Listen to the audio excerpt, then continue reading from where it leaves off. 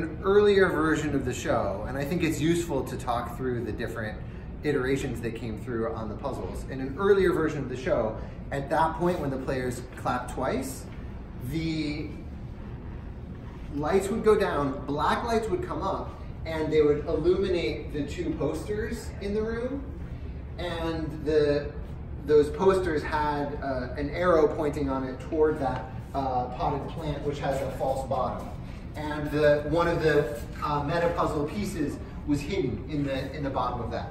Through running the show, we discovered that it was actually a little bit too easy and players were finding that hiding spot too soon. And so we changed it, and now in the final version of the show, when players clap twice, we don't have black lights, and instead uh, this spotlight comes on right onto, onto this table, and if players look carefully underneath it, they can find uh, this bit, uh, which is the uh, second of three uh, meta puzzle pieces. So Faye, can we have the lights back up? So just talk through uh, the other puzzles. So that, that puzzle can be happening in parallel with other things that players are doing in the room. And it was obviously important to have multiple puzzles going on at once. So another puzzle that I'll explain now uh, that players certainly noticed was this, uh, this cabinet is locked. Players notice that it has leaves on it and on each of these locks there are four locks. This one says maple, this says poison ivy, this says redwood, and this says oak.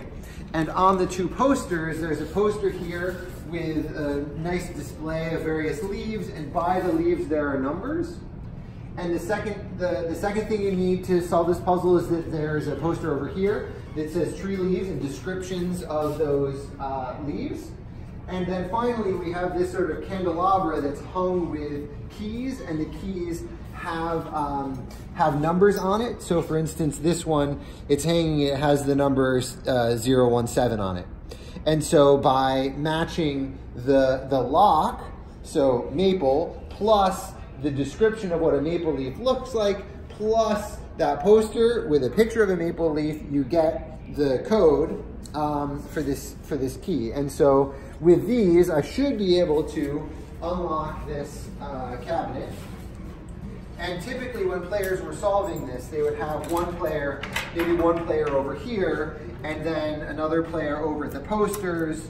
Um, and there were enough different uh, key combinations that typically players did not try and brute force it. It is possible to brute force this puzzle by trying all of the keys and all of the locks, but it was typically uh, faster if players tried to just actually use logic, which is always nice. So they get these four unlocked, and then at that point, they're able to open up the, the cabinet, and inside, they find this globe, and the globe has various push pins on it, and they have on one side the city name where the push pin is, and on the other side a date, a month, a month and a date. And the solution to this puzzle uh, requires the following things. First, the players need to notice that there are pictures of the team that are sort of newspaper clippings and they have a date in the top right and it also has the members of the team.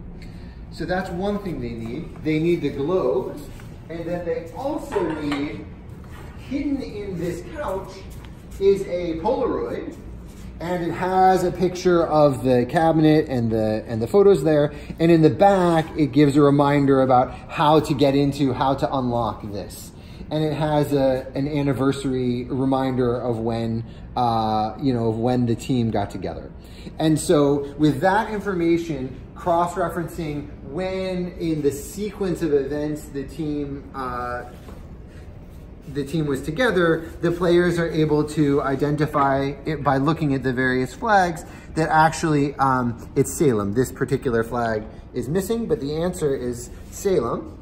And with that, they can go uh, over to this lock and unlock it with, uh, with Salem.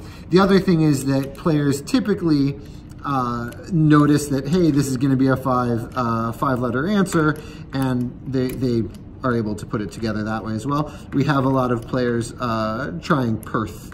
We get a lot of Perth attempts when they're just trying to brute force it. And I'm having a little trouble with this lock, but it's not actually that hard. So there we go. And that last one, I don't know if it showed on the video. This last one was blank, but uh, it, it, had an M on it, written on, on it during the show. And then they get into the final room, the control room.